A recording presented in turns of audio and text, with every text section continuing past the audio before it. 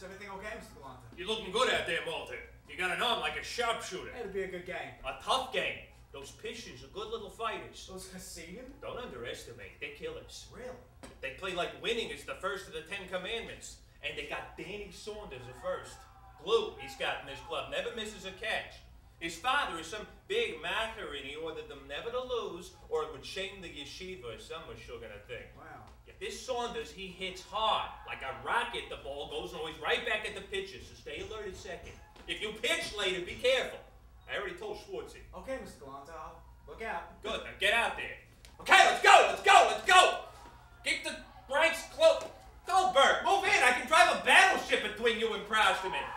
That's it. Can't what are you? Looking for paratroopers? Keep your head in the game.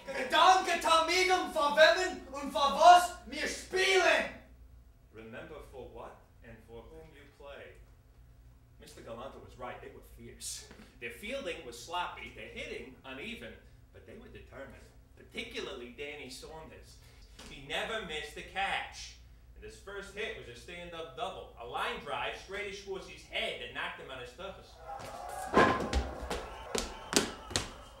It was then that Danny and I spoke, spoke our first words to each other. Nice shot. You always hit like that, straight at the pitcher. You're Reuven Malter? That's right. Your father's David Malter, the one who writes articles on Talmud. Yeah. We're going to kill you, Abby Corson, this afternoon. Yeah, sure. Hey, rub your seat for good luck.